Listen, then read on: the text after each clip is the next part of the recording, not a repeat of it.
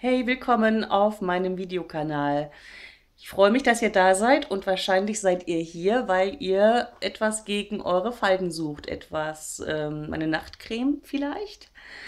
Ich habe lange gesucht, ich habe auch schon viel ausprobiert.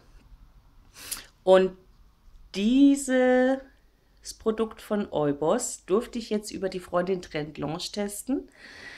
Ich bin absolut begeistert. Ich habe ganz viele von diesen Proben bekommen. Ich zeige euch das mal. Das sind so kleine Typchen.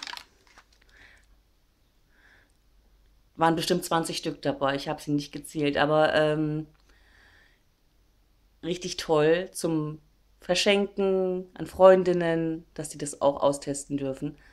Und ähm, ich habe zusätzlich noch zwei Originalgrößen bekommen zeige euch mal, wie schön das aussieht. Ich habe die noch nicht verwendet. Im Moment verwende ich nämlich diese kleinen Brübchen noch, weil ich dachte, hm, vielleicht ist es wieder nicht so meins, wegen meiner Mischhaut.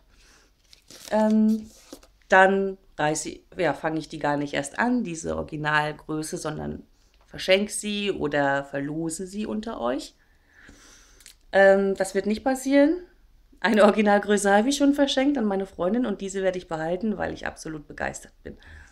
Ähm, natürlich werdet ihr nicht über Nacht faltenfrei werden, ähm, aber das Tolle ist, meine Haut wird ganz weich, sie wird gepflegt, sie sieht unglaublich gesund aus. Ich habe manchmal so rote, rote Äderchen, die man sieht, oder trockene Hautstellen, auf der Nase vor allem oder hier so.